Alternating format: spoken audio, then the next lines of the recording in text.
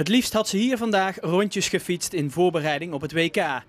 Maar in plaats daarvan zit ze 140 kilometer verderop in Deurne in de sportschool. Nog altijd revalideert ze van een bovenbeenblessure die haar belet om mee te doen aan het WK veldrijden. En dat geeft haar het volgende gevoel. Dubbel.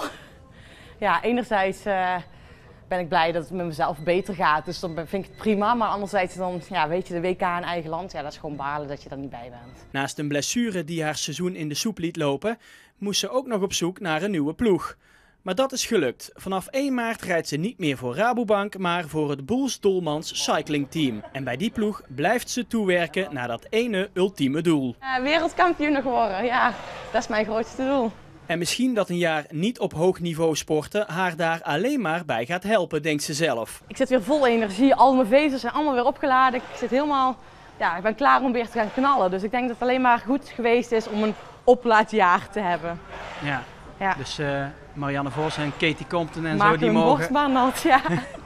Van Pasen is er overigens dit weekend wel bij in Hogerheide. Ze zit dan in dit hokje als co-commentator van de NOS. Ik ben eigenlijk best wel een insider, dus ik weet veel van de dames. Dus ja, ik ga ja, de Nederlanders van mooi commentaar uh, voorzien, hoop ik. En ook op het vlak van commentaar geven liggen de ambities hoog. Ja, ik zou wel de opvolger willen worden van Mart Smeets, ja.